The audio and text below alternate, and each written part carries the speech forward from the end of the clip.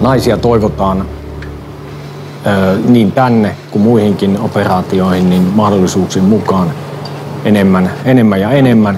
Ja heidän käyttöarvonsa ei pelkästään perustu sitten missään nimessä pehmeisiin tehtäviin, vaan meillä esimerkiksi täällä toimii, toimii voi sanoa, että kaikissa tehtävissä myös, myös naispuolisia.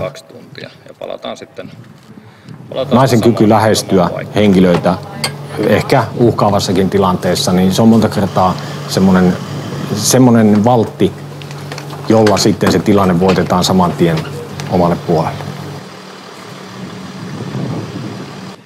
Just ehkä se, että kun noissa partioissakin ollut mukana, niin se tavallaan miten niin kuin paikallisetkin naiset ja lapset on suhtautunut, kun on nähnyt naissotilan, niin musta se on aika hienoa. Heiluttelee ja heiluttelevat ja sitten saa heidän kasvoille hymyjä. Että, että kyllä ehdottomasti naisia tänne. Täällä pärjää kyllä hyvin näiden miesten kanssa. Tyypillinen päivä on semmoinen, että tota, kahdeksalta se alkaa. Tuolla tota, on semmoinen komppanian aamupriifi ja siitä sitten puoli yhdeksäksi sairaalalle ja päivystää siihen ruokailuun saakka ja sitten tota iltapäivällä on sitten taas tullaan takaisin päivystää tuohon iltapä, tohon, tota kello 17 asti. Niin tota, se on semmoista.